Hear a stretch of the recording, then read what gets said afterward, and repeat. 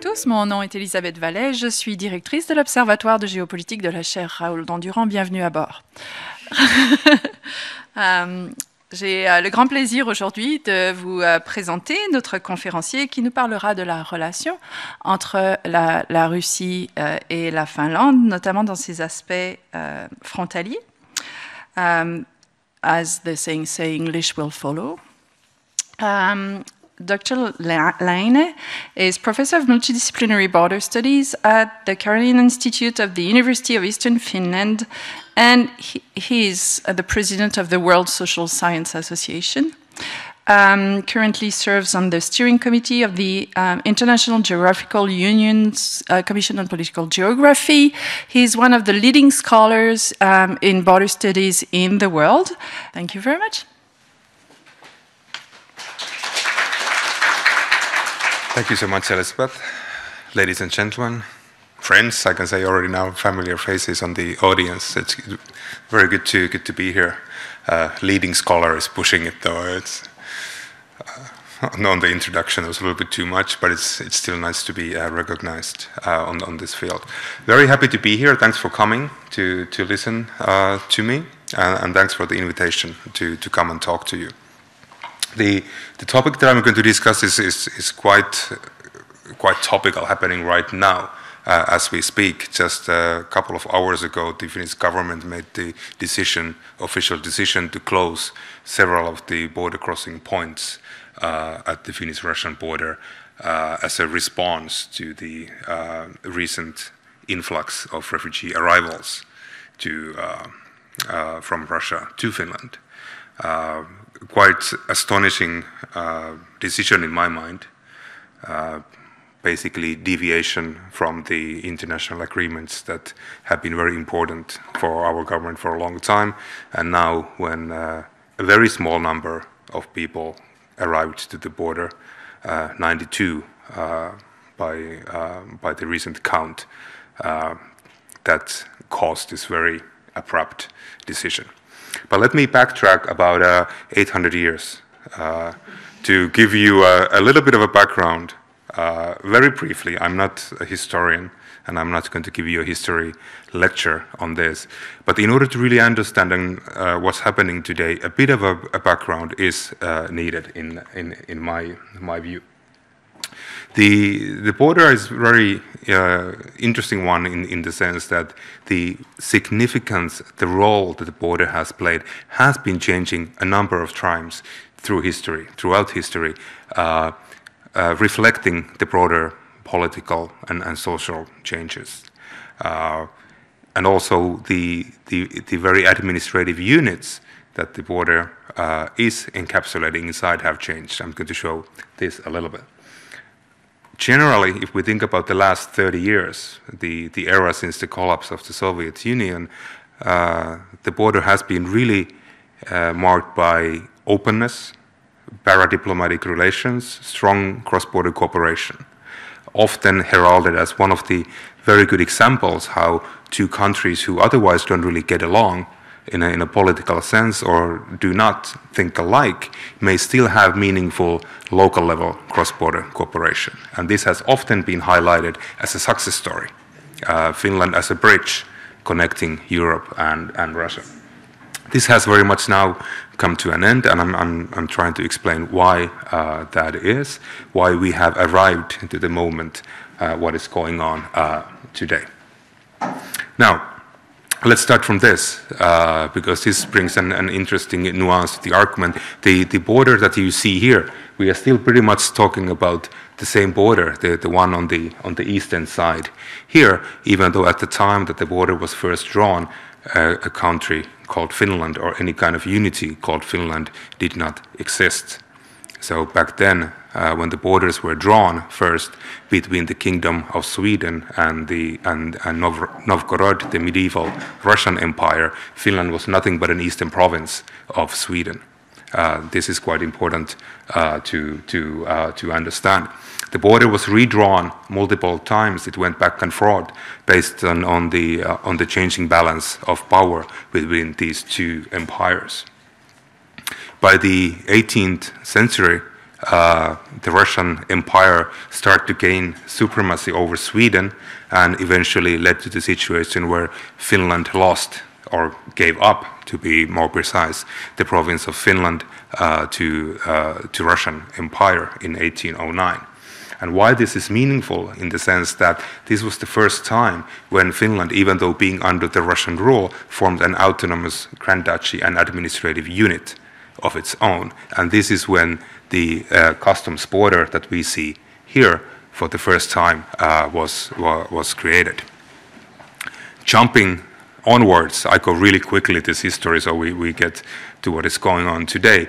Uh, the, the era of independence, 1917, uh, marked a, a very strong hostile military border between Finland and Soviet Union at, at, that time.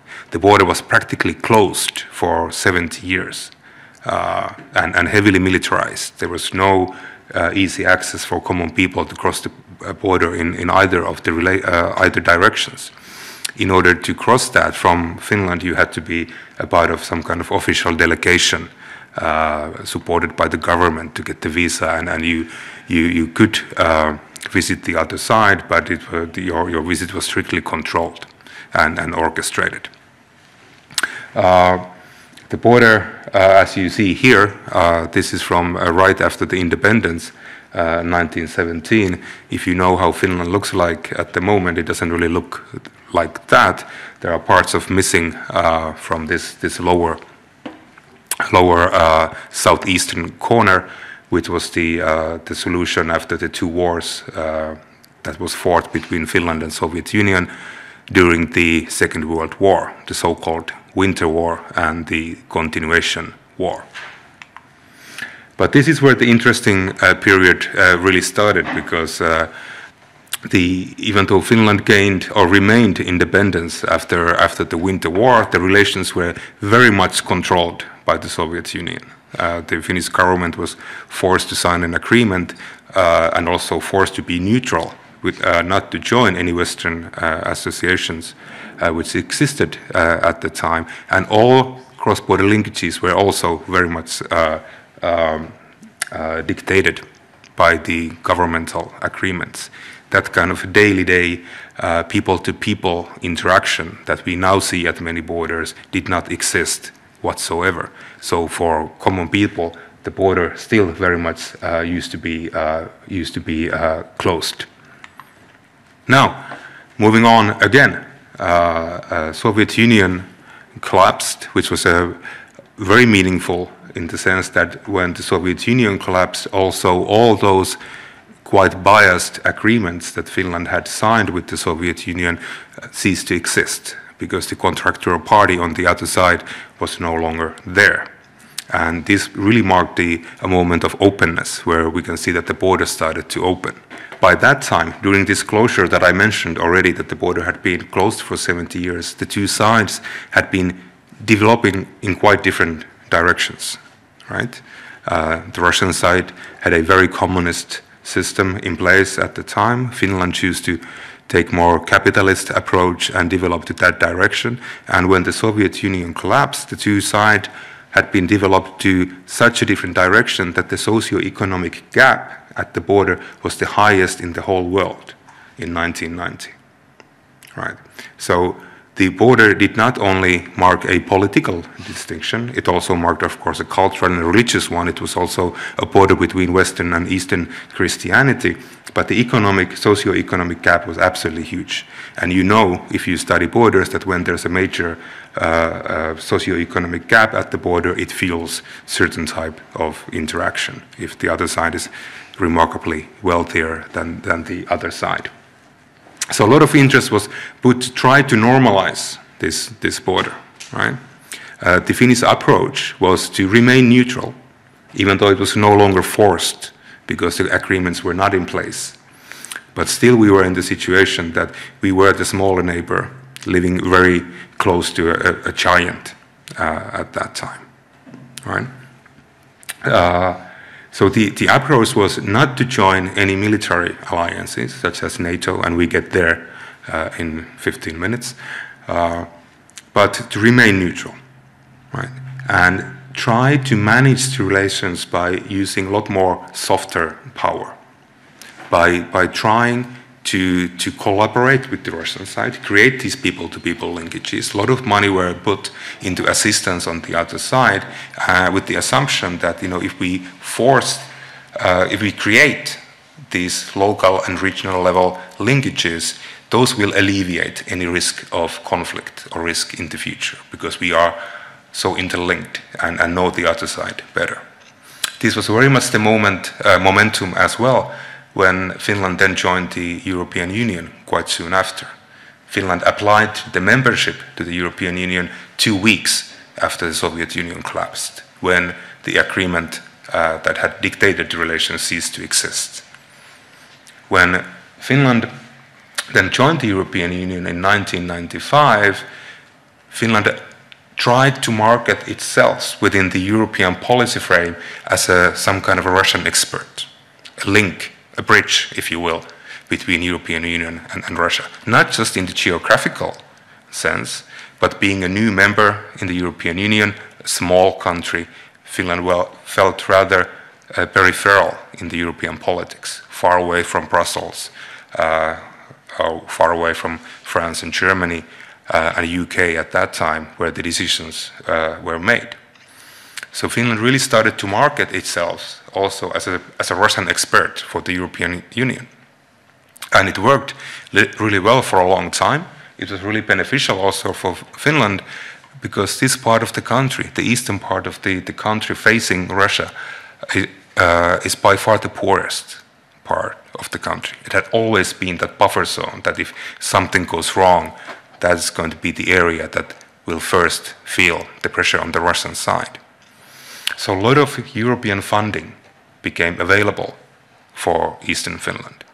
Not because Brussels would have cared really what happened in Eastern Finland, but it was very much supporting the European policies to try to bring Russia closer to the European Union.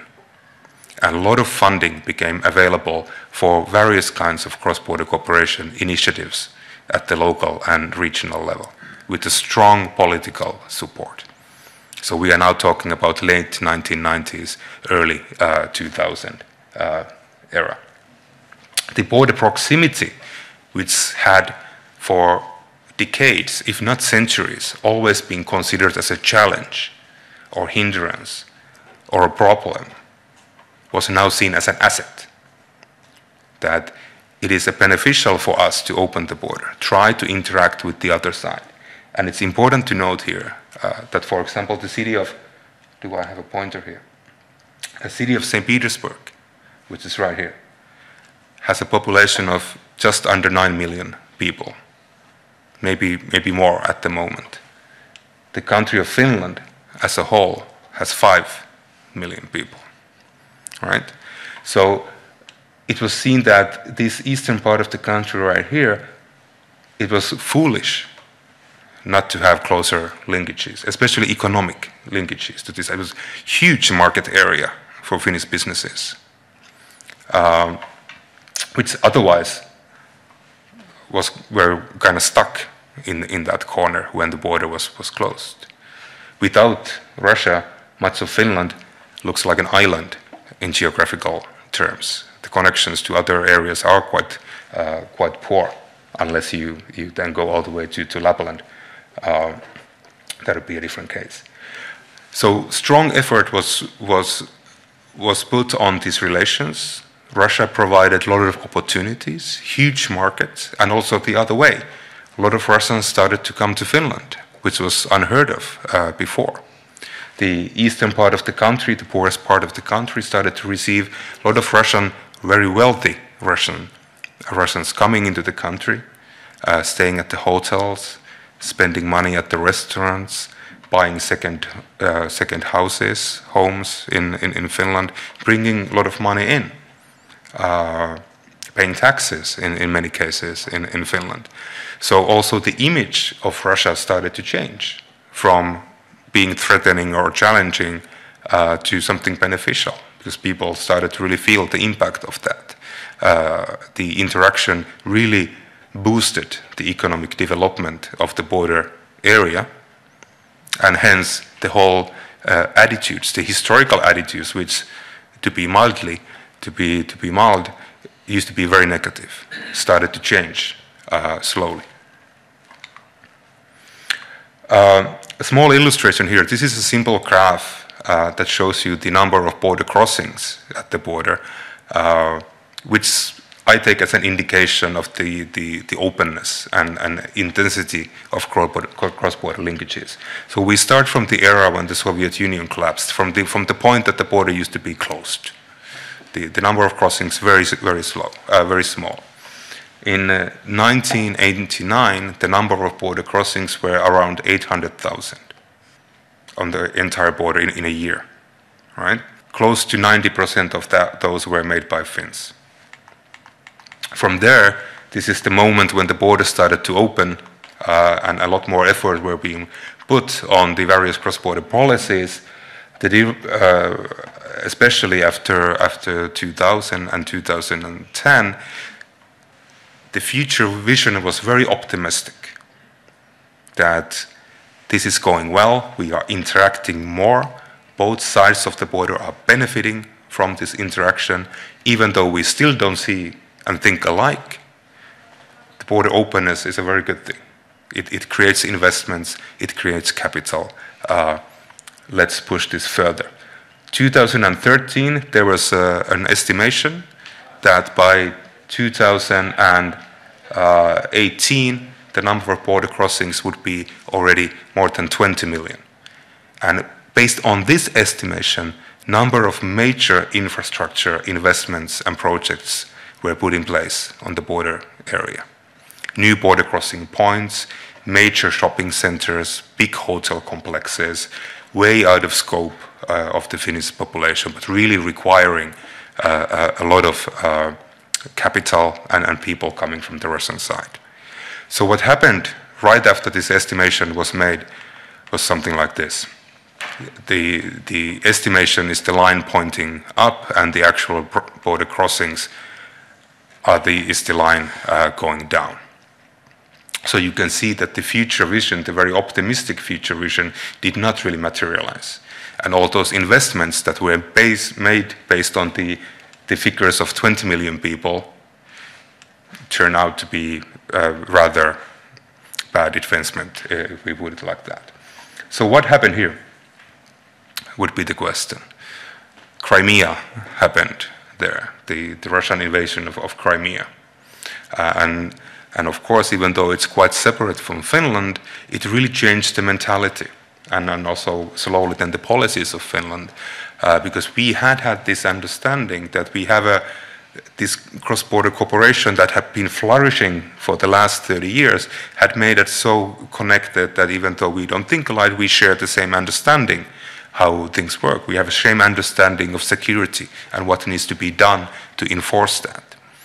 But the events in Crimea really were a, a watershed moment in the sense that a lot of people in Finland felt if Russia can do that to another neighboring country, Ukraine, what would prevent Russia acting the same way against Finland? Here we can see, of course, uh, uh, the numbers went down, started to go a little bit, and this, of course, is the, the COVID pandemic. So this has nothing really to do with the Finnish-Russian policies as such. This is the this is the pandemic when the border was very much closed. I think we could find similar graphs about most borders. so let's not look into that too much. Uh, here, uh, then again, the border uh, crossing started to actually increase when the pandemic restrictions were lifted, and even though the war uh, had already started uh, February uh, 22. We can talk about that more as well.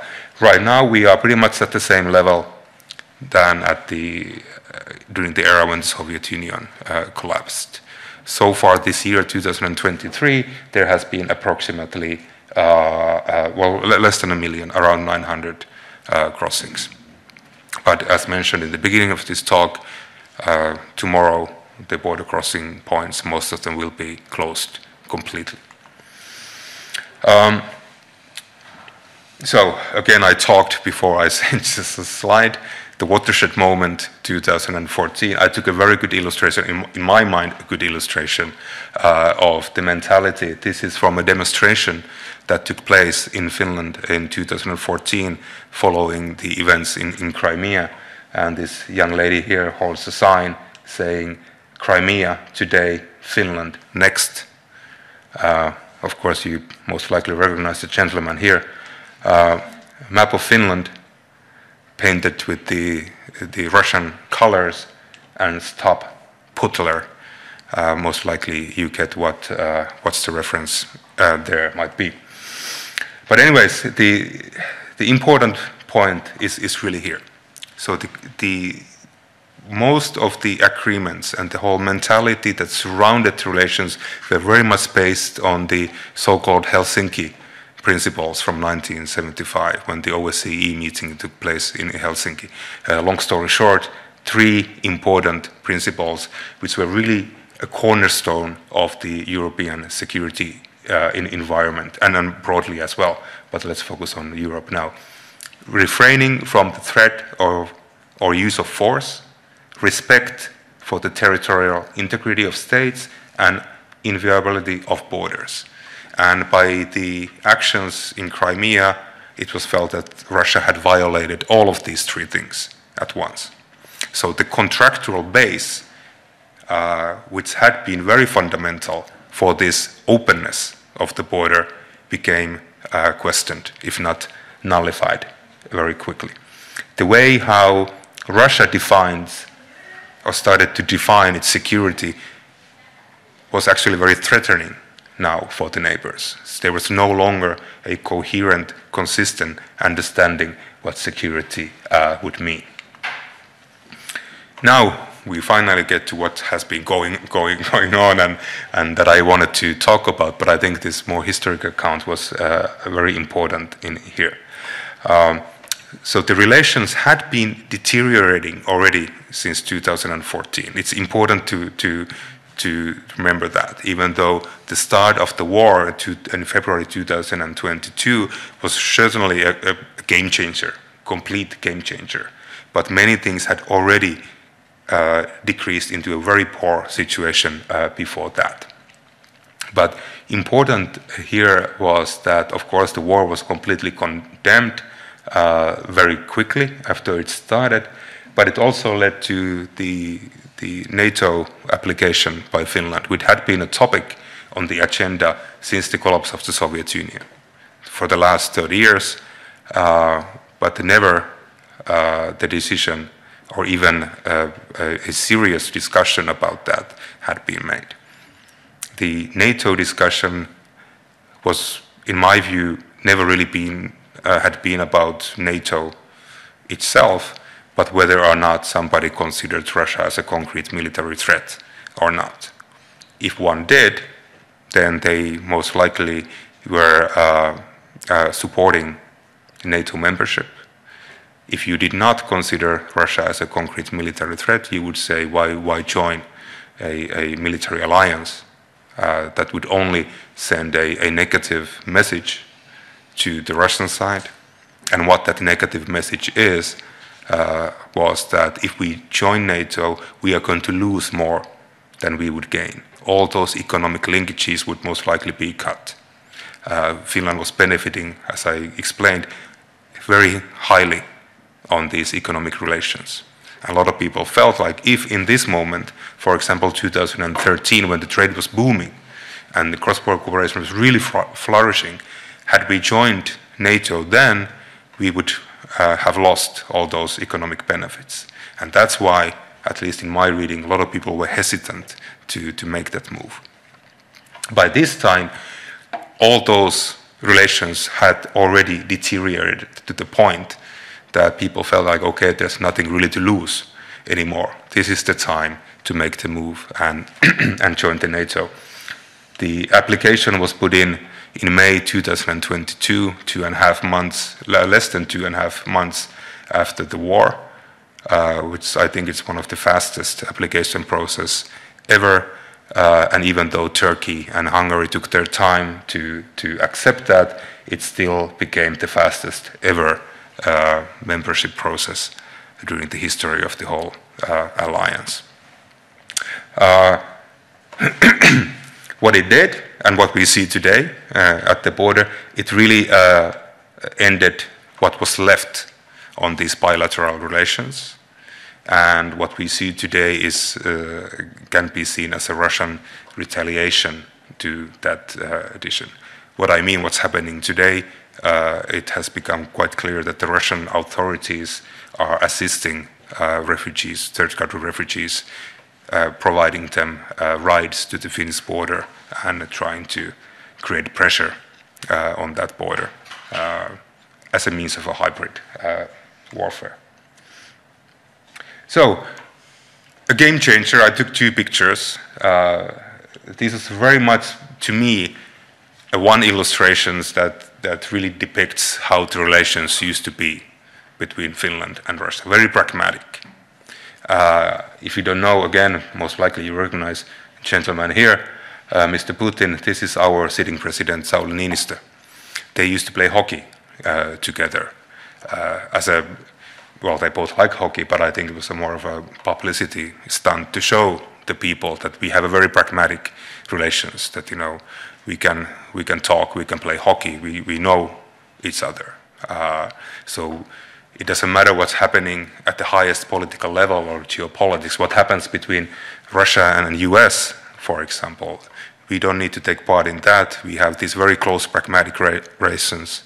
Uh, President Niinistö often used to call uh, President Putin uh, privately and discuss uh, various things.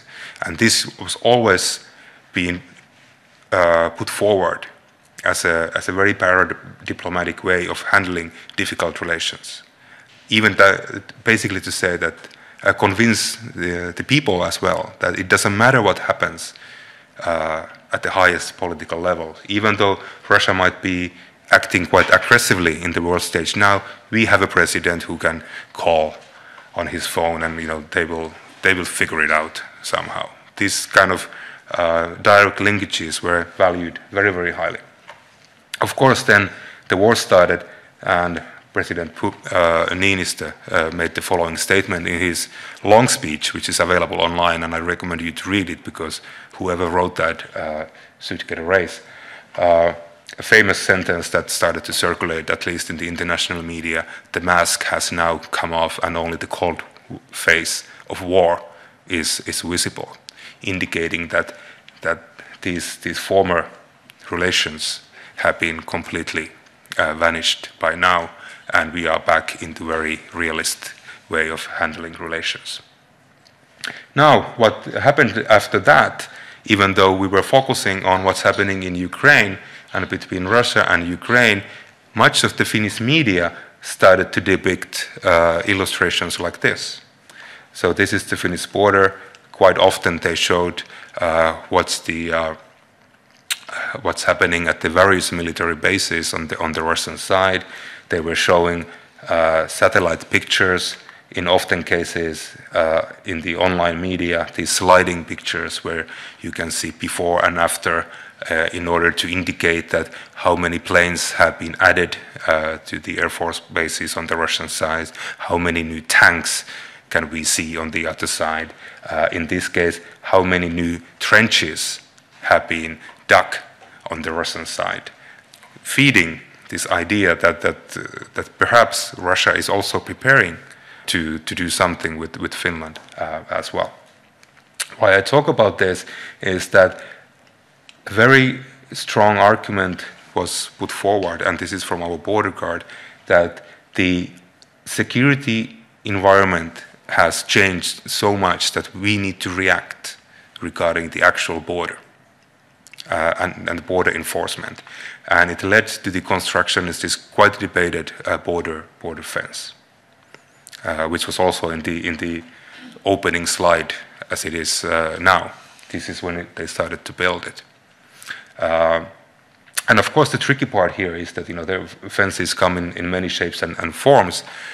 But if really the security situation is this, that if we are really under the perception that Russia might provide a concrete military threat to Finland. if we are really depicting security in military terms, that there might be Russian tanks or, or planes trying to cross the border, then at least in my mind, uh, the provided solution didn't really match the, the perception of the threat. If we are really uh, thinking that Russian tank might come across the border, I think it's rather useless to build this, this fence. Uh, but the, the military threat, these images, resonated really well with much of the population, especially the older ones who had gone through the war, who had seen the Russian tanks coming across the border. And that created a, a momentum to uh, accept and approve this decision, which year before that had been openly ridiculed in Finland, even among the, the policymakers. Like, why we don't we don't need that. You know, we we handle relations differently. This is very American thing to to to uh, to to build a, a, wall along the border. Uh, and Mr. Trump was openly ridiculed in the Finnish media and, and even policy debates that we don't we don't do that. I mean, we we understand better. Uh, but then the war started, and a couple of days later, we started to build the wall uh, on the border. Now, this is the first image that became to, to public. You can see here, this was the, the, the formal, um, what's the word? When you create this, this computer model to show what you are planning. So this is not a real uh, image, you probably can, can see that.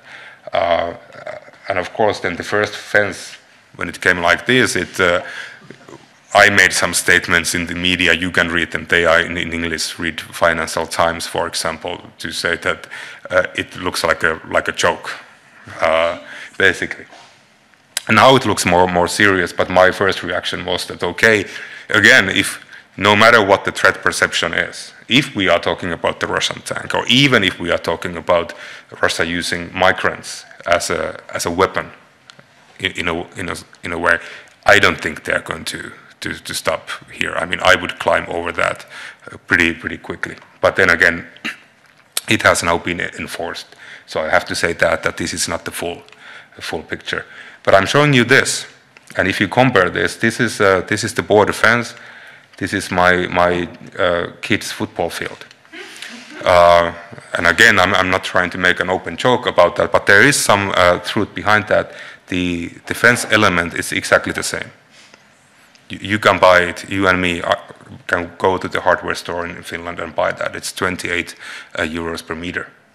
Uh, so the, the criticism was, at least in my part, was not really about defense or whether or not we need that, but if we need to spend 400 million dollars to, to, to, to build this. But then again, it's, it's now uh, happening uh, right there. They, they made it uh, higher and added a, a barbed wire there, so now it's starting to look a bit more serious. But still, I challenge the fact that if we are preparing for a military threat, it is rather useless. Apart from defense, uh, the relations have really gone down. Uh, we are at the lowest point, uh, basically ever, and I don't see a very optimistic future from this point either. But it's it is uh, almost sad to think about it how long and active process was used to try to normalize the relations, to get rid of the Cold War era rhetoric, invest millions and millions and millions of taxpayers' money to, to, to get rid of the, the sharp border and, and the very hostile relations. But this is where we are now. So all forms of cross-border cooperation uh, has been halted come to an end. The only authority that is collaborating is, ironically, the border guard. They, they are still collaborating uh, to an extent, uh, the Finnish and Russian border guard. They used to do that even uh, during the Cold War time, the Finnish and Soviet uh, border guards. There has been always quite interesting pragmatic collaboration between them as, as well. Okay, defense, I mentioned that already. Uh, the connections, of course, flights, but also the train connection. And why I mentioned this here is not simply that the one train was cancelled, that's not the point, but the process of creating this fast train between Helsinki and St. Petersburg was a big symbolic moment during this open era. Uh, it was a concrete manifestation of the fact that uh, how good the relations had gone. And it was very pragmatic because the train did not stop at the border. All the formalities were done when the train was moving. So the travel time from Helsinki to St. Petersburg reduced to just over three hours. Whereas before, when you took a bus, this bus could be at the border maybe two hours, maybe seven hours, and you had to wait and sit there. So the train was very handy uh, and, and, and really crystallized uh, the, the relations. So when that was uh, cancelled, it also was taken as a symbolic moment that that open era had come to an end and the interaction had, uh, had to be stopped.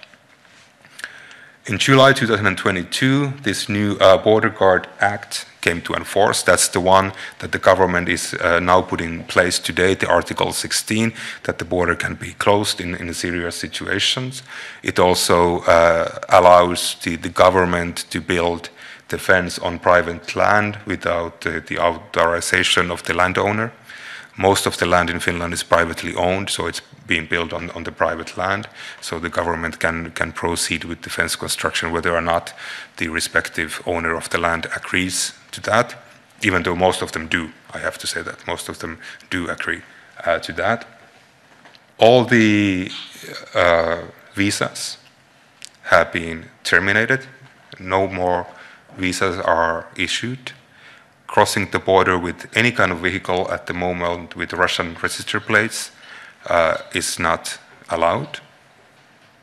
First, uh, first the, the trailers and, and, and semi-trailers were uh, completely banned, and now also individual uh, uh, vehicles. The natural gas pipeline contract, even though it had not been used for more than a year, but now finally in, uh, in May 2023, the whole contract was uh, terminated.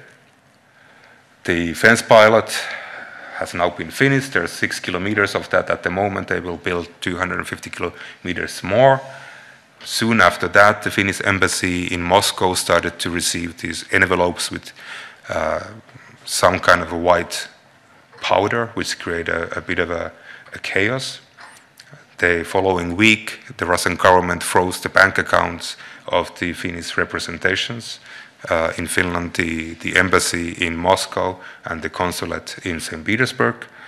Very soon after that, later the same month, the operation li license of the Finnish consulate in Murmansk at the very north and Petrozavodsk in the east were terminated two days after that, I believe, or, or, three days after that, Finland expelled nine Russian diplomats uh, on suspicion of espionage. A couple of days after that, surprisingly, uh, Russia uh, responded by, by uh, expelling, I believe, seven uh, Finnish uh, diplomats. the consulate, the major consulate in St. Petersburg, where the illustration was here. The Finnish flag was taken down and, and signs of the wall was closed down. Why this is important was that the Finnish embassy, uh, I'm sorry, consulate in St. Petersburg is what used to be the biggest consulate, uh, the EU consulate on, on the Russian side and issuing most the EU and Schengen visas. So not just the Finnish visas, but Schengen uh, visas. So coming uh, from Russia to, to Europe in general became a lot more difficult. Just a month ago, October 8th, I don't know if it made the news here, but the, the gas pipeline and also the data cable between Finland and Estonia became, uh, became fractured. It uh, had now become clear that a Chinese vessel with the Russian crew, though, uh, that had left from uh, Kaliningrad Russia had dragged an anchor, thank you, difficult word, uh, uh, had dragged an anchor on, on top of that and actually lost the anchor. So the anchor was left in the seabed and now it was lifted and the, the, the vessel uh, that it belonged to had been, has now been indicated. But again, individual example of a retaliation Uh, later in October, formally, Russia terminated the governmental agreement, which had been the base uh, on top of which many of these uh, cross-border projects had been built. So there's no anymore uh, uh, any kind of agreement guiding the relations between Finland and, and, Russia. Earlier this month, Russia reported that they consider the Finnish radio and online networks operating in the border region as a Western propaganda and indicated that they are developing mechanism to stop all the radio and online traffic uh, across the border. Uh, let's see how, how that goes. And now we are here since November 2013. We have this a, a bit of an issue at the border whereby the Russian government has been pushing uh, migrants to the border, again, in order to create uh, a bit of uh, anxiety on the Finnish side. And apparently, I have to say, doing quite well, because uh, the Finnish side seems to be panicking over, over uh, less than 100 people. Of course, predicting is the future is a difficult thing. Uh, I find that the reactions have been a bit, little bit out of scale at the moment. just couple of articles about this, what happened yesterday and, and day before that. I'm just going to, okay, I forgot that I had this here because I've been telling you the story from the Finnish side here, right? So just to, to bring more balance on this, this is a, a Russian Foreign Minister Sergei Lavrov. You probably recognize him, uh, happy as always on the on the on the picture, uh, and his statement from uh, June this year, so a couple of months ago. And of course, the Russian perspective on, on why the relations have come to this low point is, is quite different. He argued that our ties did not sever on their own. It was Finland that broke off these ties through its government, who promptly disregarded the long standing traditions of neighborliness and mutually beneficial cooperation. Right? Uh, and joined the most eloquent and enthusiastic participants in the campaign against Russia, referring to NATO. That because of NATO, now the relations had been uh, deteriorated. It was not us. So, very different uh, story. I show you a little bit of a, a packing uh, in terms of statistics on the story that I've tried to tried to tell you, and I will then close uh, uh, with this. This is a, shows a bit of a trend from 2004 until uh, 2022. I don't have the numbers from this year yet, but you can, you can see how the, the attitudes, well, the statement is even though Russia has its own problems, Finns have no reason to take negative attitude to this big neighbor. Uh, that used to be a very prevalent uh, logic here, that even though we could see that Russia had become increasingly assertive and aggressive in the global stage, we had these close pragmatic relations that we didn't have to worry about that. You know, we can we can keep the trade relations open. You know, our president can call Russian president if there's an issue. No need to really react uh, on that. But again, from 2014, the perception started to change uh, quite a bit. How is Russia then predicted according to these polls? And these are pretty wide wild, wide uh, holes in Finland. Unstable, unpredictable. A superpower seeking to expand, so beyond its borders. A major military threat. So these were the three main descriptions on how Finns see Russia. So these are not overly uh, positive if you start to think about your neighbor and, and future prospects in, uh, in this sense how well the following statements and descriptions reflect one's perception of Russia. Again, unstable, unpredictable, very strongly. And well, dictatorship, superpower, military threat, and, and so on. So, not overly positive descriptions. What is then being challenged here? And uh, this one I find quite surprising, because if you asked in this poll from average Finn, what is Russia actually threatening? The first one is not the, the Finnish security or regional security or your personal uh, well-being, but world peace as a whole uh, and European security. So very broad uh, description of what the, uh, what the challenge is. And let me end with this, because this was a very topical discussion. I mentioned already that the discussion about NATO had been there for a long, long time without really changing. Every year it popped up, and then you saw the polls, and it never really changed. But right, uh, right after the war started in, in Ukraine, quite many, quite quickly, changed their attitude.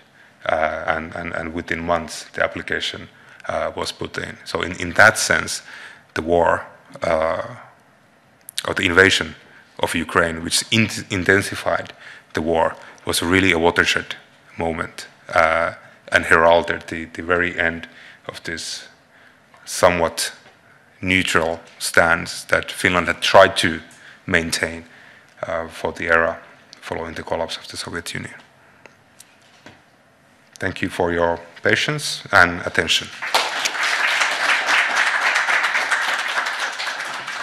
Thank you very much, Dr. Laine. It was a pleasure listening to um, that um, very um, timely issue. As you said, you've been giving interviews all night, as I heard. So, yeah, indeed, um, the um, the instrumentalization of migrants is definitely something that we will be seeing more and more. I think um, this is uh, to conclude the um, the conference for the online uh, audience. Thank you very much for attending. We're looking forward to meeting you next time. I think we've got other events uh, coming up, so please check out our newsletter and the website. Merci à tous, on vous souhaite une bonne soirée.